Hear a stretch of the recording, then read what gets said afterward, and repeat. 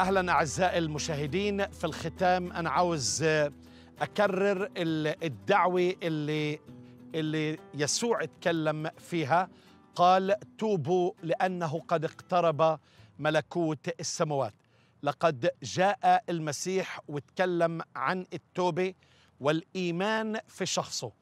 فعندما نؤمن بيسوع المسيح ونتوب عن خطايانا ونتوجه مخلصا ربا وملكا على الحياة والكيان. فنصبح من رعايا الملكوت وبنبتدي نمارس مبادئ الملكوت في حياتنا اللي هي العظه على الجبل تعليم المسيح على الجبل. عندها نصبح تلاميذ المسيح. كما قال لأحد التلاميذ واما أنت فاذهب ونادي بملكوت الله.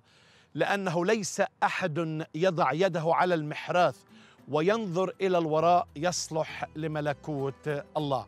فاذا أحبائي لما بندخل هذا الملكوت نصبح رعايا أبناء وبنات للرب. تلاميذ خلاص حسمنا الأمر لا رجوع إلى الوراء لا ننظر إلى الوراء بل ننظر إلى الأمام لنربح العالم ويمتد ملكوت المسيح فينا ومن خلالنا في كل أنحاء العالم. الرب يباركك.